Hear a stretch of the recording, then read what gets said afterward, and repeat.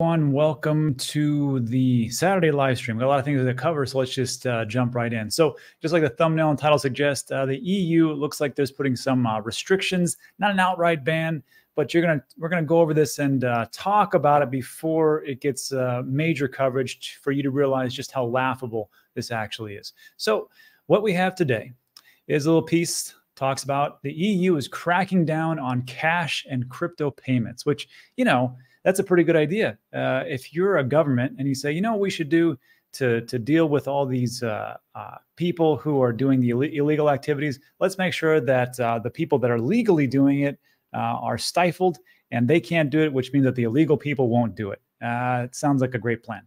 So here's what we got. New regulations, which were greenlit by the majority of the EU Parliament's lead commissions on March 19th, establish specific limitations on cash transactions. So we're going to start with the cash transactions. So we'll get into crypto in a second, but I, I still have to tell you this is ridiculous. So they're going to limit you moving cash.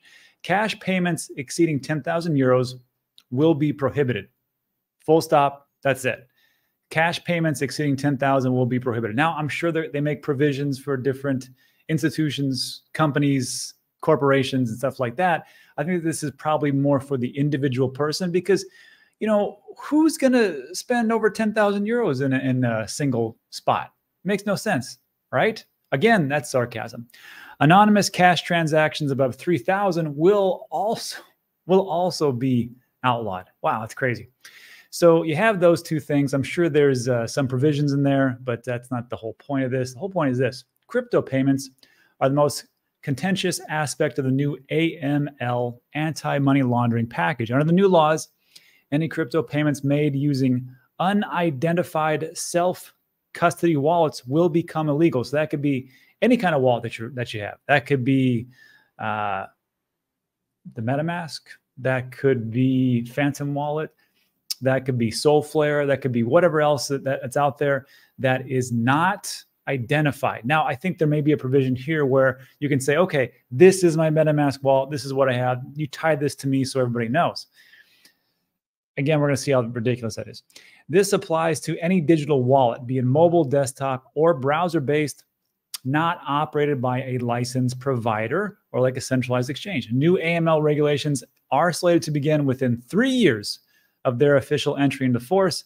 However, the anticipation that these laws will be fully operational well before the standard enforcement timeline. So before this kind of breaks out, because of course, the mainstream media or whoever else is going to pick this story up, they're going to say, okay, now we've got a new FUD story. Now we're going to run with it. And of course, people who are anti Bitcoin and crypto and digital assets are going to say, okay, see, we told you this is all going to go down in flames. However, this is ridiculous. Anonymous transactions. This is a this is a quote from Breyer. Anonymous transactions are a fundamental human right for achieving individual financial autonomy, infringements on privacy rights.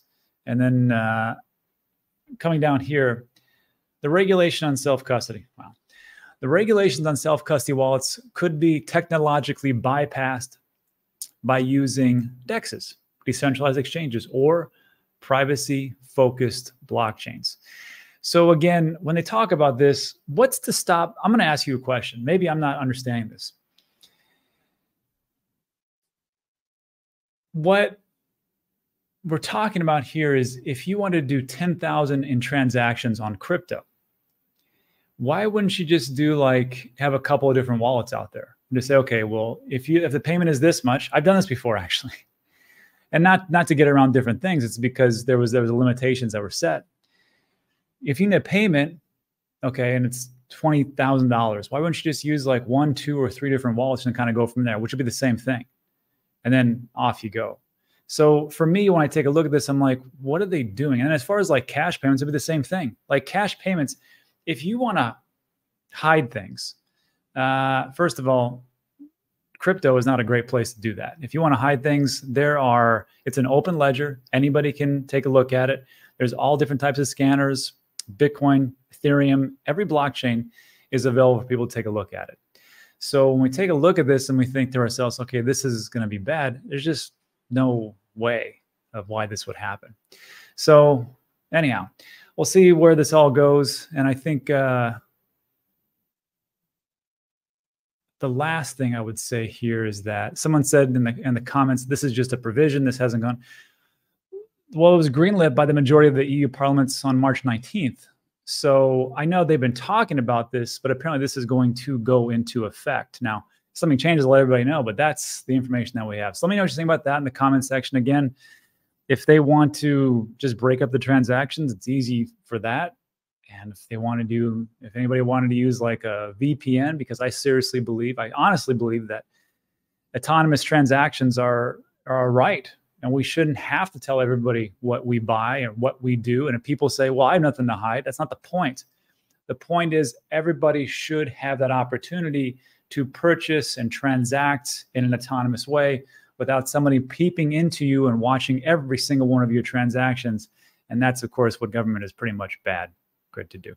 Anyhow, let me just think about that in the comments section. And that's the negative news. Let's talk about some good stuff for a second. Huh?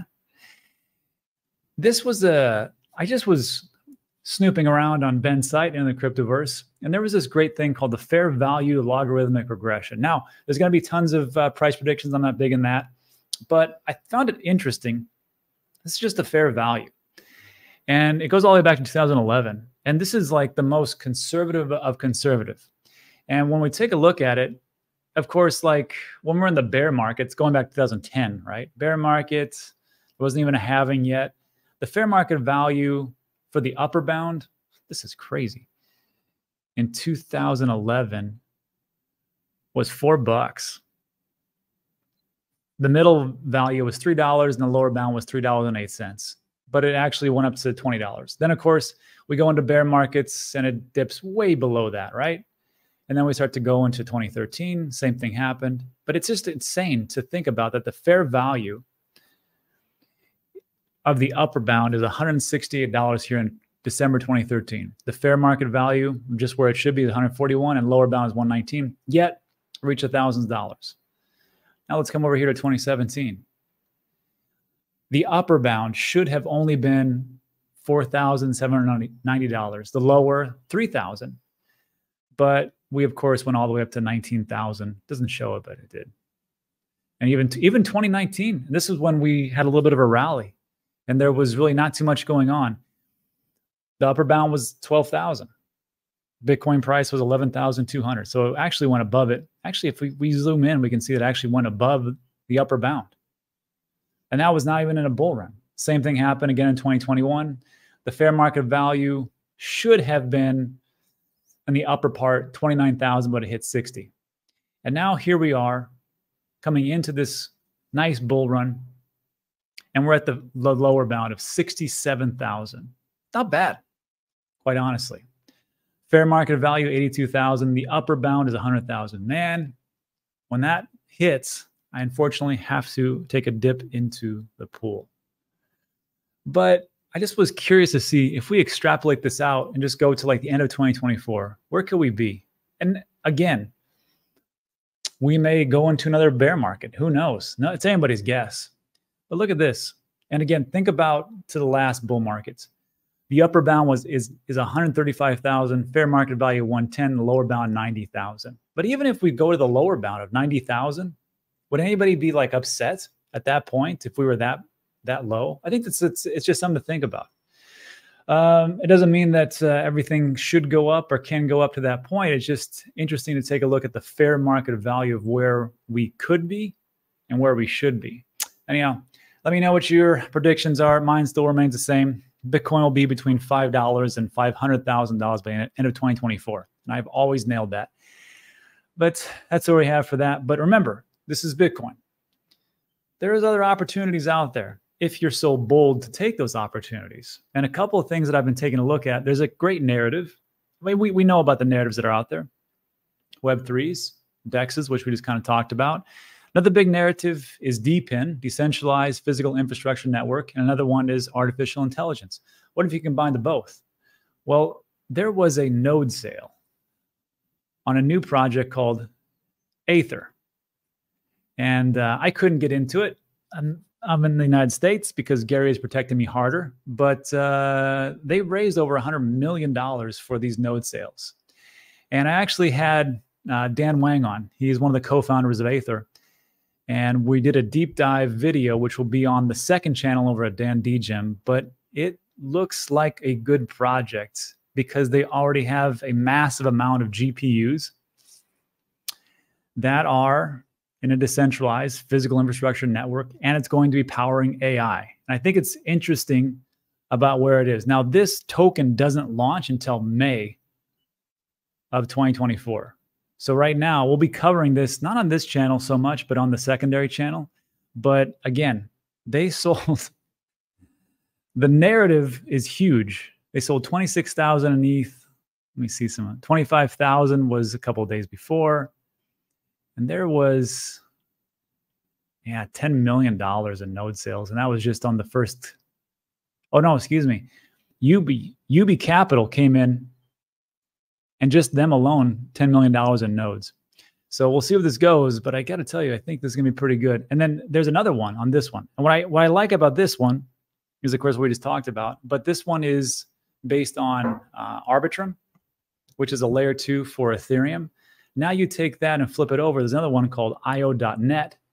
And this one is powered by Solana and it has partners with uh, Filecoin and Render already. And when I took a look at this one as well, I'll be doing a deep dive on this. They just put this out 20 hours ago. IONet's recent expansion to facilitate Apple hardware will allow users to start earning by providing computing power from devices within with M1, M2, M3 chips, which is what I have on my MacBook Pro. This will allow more users to onboard the IONet platform with engineers now being able to do whatever they do. So again, uh, this one will be launching relatively soon. We'll keep everybody up to date. But if you just want to go into Bitcoin, it's a pretty good play.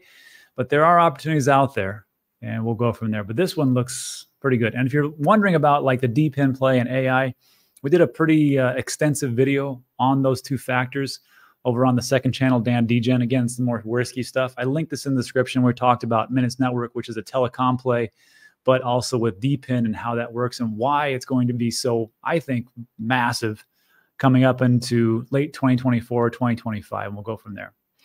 So check those out. Links in the description. And finally, I want to give a shout out to this young kid he came on to X and he talks about him getting drained. And it was a great video and it's a great lesson. I feel sorry for him because, first of all, he got drained, which happens to the best of us. I mean, there's scams out there like crazy, but just the amount of poise that he had as everybody piled on and pretty much called him a moron and an idiot, which is the worst part of our community. Let's be honest. X is not the place for loving compassion. It's a place to come over and really just get destroyed unless you just want to do memes all day. So I want you to listen to this and learn from this kid. It's a minute and 40 seconds. I linked the description of his uh, X account in the in the uh, description so you can give him a follow. But uh, just take a listen to this. Let me make sure you can hear this correctly. I want to make sure it's crystal clear what he's saying. Let's see. Yeah, take a listen. Hey guys, I'm gonna try to keep this short. My name's Ford. Um, I had my DeGod drained today. Um, I'm 14 years old. I live in the United States. Um, I hope you guys can understand that I'm not here to ask for money. I'm done. Don't send me any money. Like I asked that in the first donation just because I was frustrated at the time. It was 20 minutes after I was drained. Um, but yeah, this was mainly to clear up the air. I'm 14, and my DeGod was drained because I don't know how. Like I'm trying to figure it out still. I think I clicked on a link and I maybe connected it to something but it sucks. I shouldn't send it to my ledger. sitting right here. I should have sent it there. But now I know right in the future what to do with assets. And there's a lot to be taken away from this experience. But um, it doesn't help when a community is on my ass telling me I'm not 14, telling me sucks to suck, change your PFP. All this hate's unnecessary in my opinion. And I'd prefer if you guys didn't hate but it supported the journey, not money wise, just maybe like I don't know, liking something, following. I'm just trying to make a comeback and stay positive, turn a bad situation into a positive one. So I think the goal here is going to be to turn around and make a comeback. So this is my video uh, to clarify some questions. Let me know if you guys have any more. I'm gonna get my space in a sec. So yeah, see you guys. Hmm. So anyhow, good information from the kid, and uh, see how it goes.